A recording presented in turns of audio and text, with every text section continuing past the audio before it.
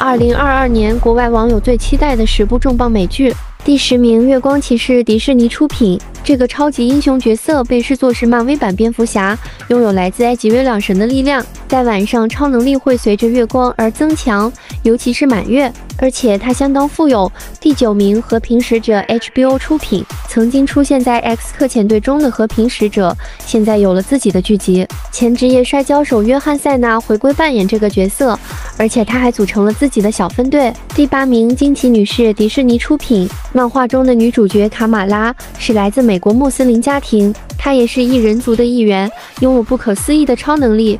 后来加入复仇者联盟，惊奇队长曾经是他的导师。第七名，女浩克，迪士尼出品，女主角珍妮弗是一名律师，也是绿巨人布鲁斯的表妹。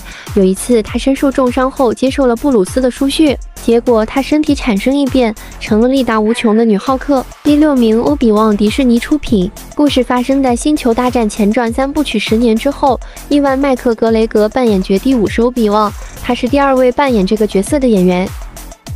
第五名，《最后生还者》HBO 出品。本剧根据同名畅销游戏改编，由美剧《切尔诺贝利》主创与游戏创意总监共同打造。曼达洛人男星佩德罗·帕斯卡与《权力的游戏》女星贝拉·拉姆齐共同主演。第四名，《睡魔》网飞出品。本剧改编自美国众神作者尼尔·盖曼为 DC 创作的同名漫画作品。睡魔是能控制梦境的王者。二零二零年曾经被改编成广播剧。第三名，《帕姆和汤米》Hulu 出品。这部明星传记爱情剧，角色原型分别来自著名影星帕米拉·安德森和她的前夫汤米·李。故事主要聚焦他们的爱情和性丑闻。第二名，《指环王》亚马逊出品。在电影《指环王》上映二十年之后，这部魔幻巨著首次被改编成电视剧。本剧投资非常巨大，第一季就耗资四点六五亿美元，号称史上最贵的美剧。第一名，《龙之家族》HBO 出品。本剧是魔幻神剧《权力的游戏》的衍生剧，但是故事发生在之前的两百年，改编自乔治·马丁的小说《火与血》，聚焦龙妈家族的起源故事。